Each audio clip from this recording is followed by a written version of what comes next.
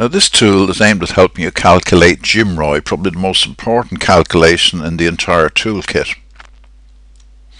As you know, GMROI stands for Gross Margin Return on Inventory Investment, which means effectively gross margin, the difference between buying in and selling out price excluding tax, as reward for the money put at risk in holding stock.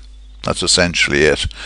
In practice, you take the annual gross profit of a product, it can be a business, but essentially a product, in pounds, as a percentage of the average stock holding at cost price, then multiply by 100.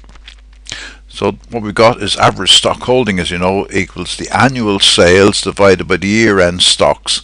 And in retail, this is in fact a particularly, if you like, accurate measure of average stock holding, more than in any other business, in fact, because of the speed of rotation. It can be a good way of identifying good and bad products or performers in an assortment and taking appropriate remedial action and it can be calculated for the entire company, i.e. the retailer, any branch within that retail organization, departments within the store, categories within departments, and even SKUs within a brand. Particularly important because that all sales revenue and profits are generated by the retailer stock holding, one of their three key assets, the others obviously being shoppers and space. But excess stocks are particularly damaging in that they can absorb cash and can force retailers into insolvency. And you know you pick up the can in terms of requiring incremental sales to cover any loss. The retailer needs to maximize return on inventory by reducing excess stocks, which as you know can build up through a combination of having slow moving lines, um, building up stocks in anticipation of promotions, and in order to take advantage of quantity discounts. Either way, they are excess to requirement and as such have to be become a carrying cost on the business. Now, suppliers then bear the cost of increasing stock rotation to correct these problems through more frequent and smaller deliveries. For these reasons, it's crucial that suppliers get involved in the entire process and establish a dialogue on GMROI with the retailers. In fact, GMROI can also be used to counteract a buyer's claim that a, a product has insufficient margin because in, in, claiming that the margin is too low they're ignoring the fact of rotation and as you know cash is generated by a combination of whatever margin you get and the associated rate of sale so that's really the deep down value of GMROI. In terms of where it's heading, particularly in flatline markets, retailers are now reassessing all investments in the business, especially stock holding. And suppliers are under pressure to make smaller, more frequent deliveries without sacrificing availability. So real catch 22 for suppliers particularly. Otherwise, retail gross margins will need to be increased because one way or another they need the money and you either do it by rotation or by margin and increasingly GMROI will be used by both parties to identify and remedy un underperforming SKUs and your interest obviously to make keep your brand safe by being totally involved in the GMROI analysis process.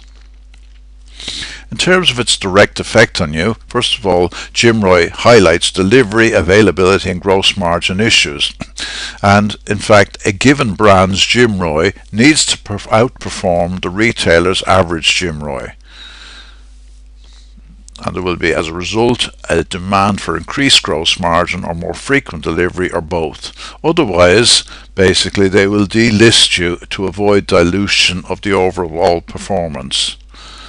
And the key skill for anybody on the supply side is the ability to be able to override computer logic. In other words, you've got to understand the cause and effect relationship in GMROI. In terms of what you need to know about it, first of all, basically calculate each brand GMROI and compare with the retailer's performance. The ultimate benchmark is in fact the retailer's total company GMROI and you get that by taking 100 multiplying it by the average gross margin for retailers, which as you know is 25%. They in fact buy all products at 75 on average and sell out at 100 excluding tax, divided by the average stocks. And you get the average stocks through, as I say, looking at balance sheet and dividing the stock level goods for resale into the sales excluding tax on the P&L. You need to then, through your knowledge of the category, estimate the gross margin return on inventory investment by retailer in order to relate your brand performance to its, if you like, other products in the category. Then you need to check out delivery, availability and margin issues you may have because they're for sure going to be highlighted by any analysis of GMROI and then open an active GMROI dialogue with the buyer in order to encourage sharing of insights to set and manage joint expectations. It's key that you go in there with eyes wide open on each side and then agree a strategy for fair share improvement. Now in terms of actually calculating GMROI, we'll now take a look at a tool in the uh, NamCalc toolkit. Now as always useful to use some real data so we'll assume basically this retailer is selling 525,000 pounds of your brand a year at a margin of let us say 28% so in effect basically the retailer is making 147,000 on sales of 525,000 at a cost of stock to them of 378,000 now, when retailers criticize your margin of 28% as being too small, they would have you believe that having to buy in all of that stock, the 378,000 all in one piece, sell it over a year and wait till the end of that year to access the full margin in practice, as you know, you deliver even daily in some cases. So from that point of view, it's essential to tie in the frequency and rate of sale with the margin to, if you like, represent the full value to that retailer of your brand. So now we're faced with the issue of how often your particular brand turns over in that particular retailer in a year. And unless you have access to the actual data, then you need to use a rule of thumb that's quite common in the industry. It goes as follows in that if you deliver every month to a retailer, they'll hold two weeks stock just in case you don't arrive. Equally, if you deliver every two weeks, they'll hold a week's in hand just in case you don't arrive. And finally, if you deliver every week, they'll hold half a week in hand. So from that point of view, let us suppose you're delivering every seven days to this particular retailer. So that on the morning of your delivery, you bring in seven days worth of stock, plus their three and a half already there. You're talking about 10.5 days as I say, stock holding. And that's the worst case. It obviously goes down to half of that figure in midweek and even lower by the end of the week. So we'll make our argument on the worst case scenario as is the set the 10 and a half day stock. Now 365 divided by 10 and a half tells me that this retailer is turning over your brand 34.7, nearly 35 times a year and is therefore, if you take that 35 into 378,000 pounds a year's purchases of stock, then in fact they're sitting on an average at any time of 10.8 thousand pounds worth of stock of your brand.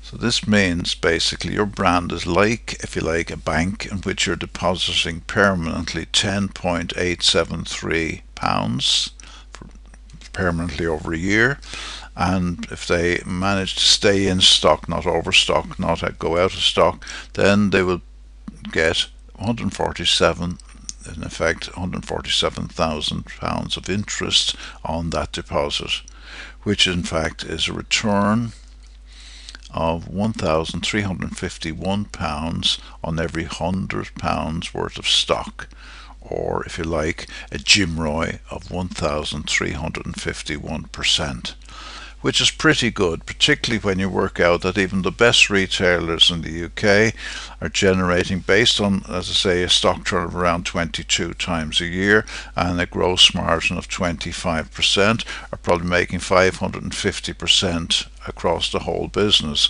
You've just demonstrated here that you're doing almost three times that figure. That's why GMROI is so important. It's tying together in a very logical way the rate of sale with the margin on your brand to, if you like, represent the full value of that particular brand in that retailer's business. Now, in terms of the key takeaways, GMROI is very important. It will in fact determine your future. It's a calculation that's long overdue in terms of application in retail and it actually links and quantifies gross margin and rotation, the ultimate business drivers for both suppliers and retailers. However, the problem from a supplier's point of view is that basically it makes a strong case for a good brand and obviously a buyer will be resistant when they're particularly focused on wanting you to increase the existing gross margin. So you will need to understand this particular technique more than any other of the tools simply because you've got to not only understand it and believe in the output you've got to be so convincing in terms of being able to persuade a retailer, a buyer, that basically it's a robust calculation and that basically has a relevance within their business. And the key and only way to do that, I guess, is practice, practice, and more practice.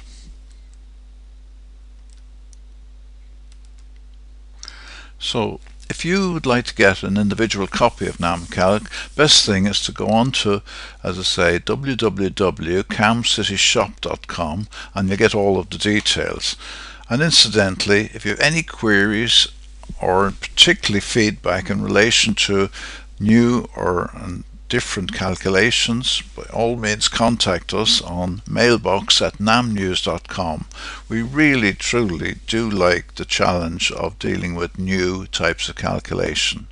Thank you very much indeed.